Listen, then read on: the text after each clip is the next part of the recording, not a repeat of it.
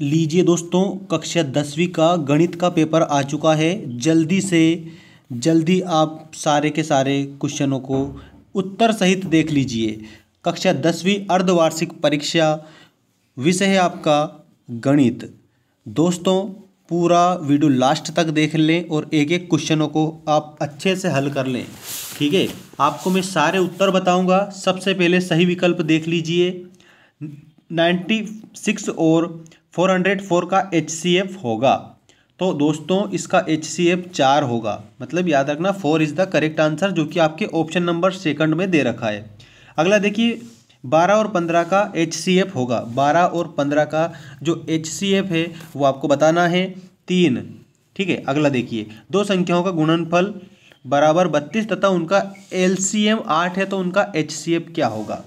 तो इसमें आपको याद रखना, इसका करेक्ट आंसर आएगा चार। अगला देखिए, चार और सात का महत्तम समापवर्तक क्या होगा? एच सी एफ़ क्या होगा? चार और सात का। ठीक है? तो इसमें आपको बताना है एक। चार और सात का जो एच सी एफ़ है, वो होगा एक। अगला है, किसी पूर्णांक एम के लिए सम पूर्णांक निम्न स्वरूप का होता है। तो इसका आएगा ऑप्शन नंबर सी दो एम ठीक है? संख्याओं पाँच, पंद्रह, बीस के लिए एलसीएम एचसीएफ का अनुपात होगा। ठीक है? आपको सिक्स वाले पे ध्यान रखना है। सिक्स वाला जो है इसका करेक्ट आंसर आएगा ऑप्शन नंबर डी। ठीक है? बारह अनुपात एक। ठीक है? ये आपके पूरे मैंने बता दिए हैं दोस्तों। कंप्लीट अच्छे से आप क्या करेंगे? हल कर लेंगे और अपनी परीक्षा में ही लिख कर आ जाएँगे दोस्तों। ठीक है? अच्छे से आप याद रखें। अगला देखिए। रिक्त स्थानों की पूर्ति कीजिए। ये रिक्त स्थान रिक्त स्थान के बाद में क्वेश्चन में आपको बताऊँगा। भाज्य बराबर भाजक इंटू भागफल प्लस तो यहाँ पर आपको लिखना है शेषफल। क्या लिखना है? शेषफल लिखना है। इसके बाद में संख्याओं आठ, नौ और पच्चीस के एचसीएफ का मान। तो इसमें आपको बताना है कि एक होता है, ठीक है? आठ, नौ और पच्चीस के एचसीएफ का मान एक होगा। अब सत्य सत्य, दो धनात्मक पूर्णांक ए और बी दिए रहने पर ऐसी अद्वितीय पूर्णांक संख्याएँ क्यू और आर विद्यमान है कि ए बराबर बी क्यू प्लस आर, ठीक है? इसके बाद में ज़ीरो, आर, बी है। तो ये सत्य है या असत्य है तो इसमें आप लिखेंगे सत्य, ठीक है? सत्य लिखेंगे। अगला देखिए, एक प्राकृत संख्या का अभाज्य गुणनखंड, उसके गुणनखंडों के क्रम को जोड़ते हुए अद्वितीय होगा। तो इसमें आप क्या लिखेंगे? इसमें भी आप लिखेंगे सत्य। ठीक है? सत्य इसमें करेक्ट आंसर हो जाएगा। इसके बाद में क्वेश्चन नंबर फोर देखिए। एक शब्द या एक वाक्य में उत्तर लिखिए। क्वेश्चन नंबर फोर में एक शब्द, एक वाक्य में उत्तर है।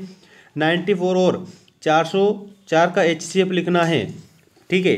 तो अच्छे से याद रखना। इसका जो एच सी एफ़ है वो आएगा टू अगला देखिए, किसी पूर्णांक पी के लिए टू पी प्लस वन सम होगा या विषम? बतलाइए तो विषम होगा।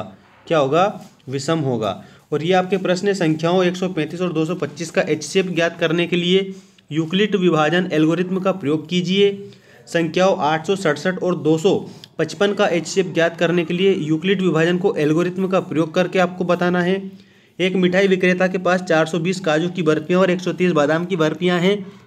वहाँ इसकी कितनी टेरियाँ बनाना चाहती है कि प्रत्येक टेरी में बर्फियों की संख्या समान रहे तथा यह टेरियाँ बर्फ़ी की प्रांत में न्यूनतम स्थान घेरे। इस काम के लिए प्रत्येक टेरी में कितनी बर्फियाँ रखी जा सकती है?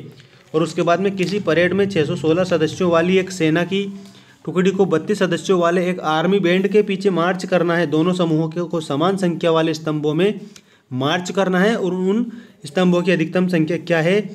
वे मार्च कर सकते हैं, ये आपको बताना है। चलिए और भी आपके क्वेश्चन है, ये देख लीजिए दोस्तों। अच्छे से आपको इसका स्क्रीनशॉट ले लेना है एक, ठीक है? बिल्कुल स्क्रीनशॉट ले लेना है और ये आपके और भी, आपके सही विकल्प आ आ चुके हैं दोस्तों, ठीक है? इसका देखिए, यदि द्विघात बहुपद ए एक्स वर्ग plus B X plus C के शून्य ए अल्फ़ा और बीटा है तो अल्फ़ा बीटा का मान कितना होगा? तो इसका आएगा सी बटे ए, ठीक है? मतलब ऑप्शन नंबर वन अगला दूसरा, देखिए, यदि द्विघात बहुपद ए एक्स वर्ग plus B X plus C के शून्य अल्फ़ा और बीटा हो तो अल्फ़ा प्लस बीटा का मान क्या होगा? तो इसमें याद रखना है, माइनस बी बटा ए, माइनस बी बटा ए। इसके बाद में रेखी बहुपद ए एक्स प्लस बी का शून्यक होगा। जो रेखी बहुपद है, उसका ए एक्स बटा जो बी है, ठीक है, ए एक्स प्लस बी का जो शून्यक है, वो आपको इसमें बताना है। Option number C, minus B बटा ए, ठीक है, माइनस बी बटा ए। अगला देखिए क्वेश्चन नंबर फोर फटाफट कर लीजिए हल और चैनल को ज़रूर सब्सक्राइब करिए। बहुपद एक्स वर्ग माइनस तीन के शून्यक होंगे। ठीक है? तो इसमें आपको बताना है शून्यक बताना है, आएगा इसमें प्लस माइनस करणी तीन। ठीक है? ऑप्शन नंबर ए अगला देखिए, बहुपद एक्स वर्ग plus seven x plus ten के शून्यक होंगे। इसके भी आपको शून्यक बताना है एक्स वर्ग plus seven x plus ten के शून्यक।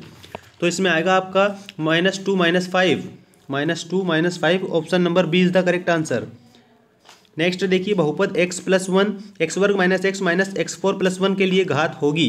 तो इसके लिए जब इसको हल करेंगे ना तो इसके लिए घात मुख्य रूप से क्या आएगी? तो इसमें आपको बताना है फाइव ठीक है?